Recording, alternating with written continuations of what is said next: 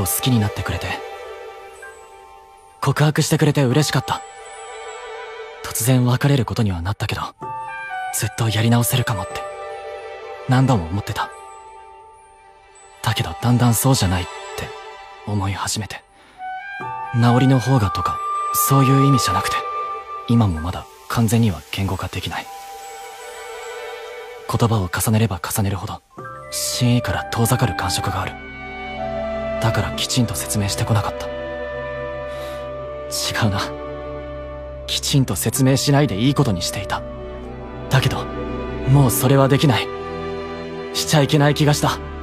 僕はルミもナオリも二人のことが好きだ。はっきり言って同じくらい好きなんだ。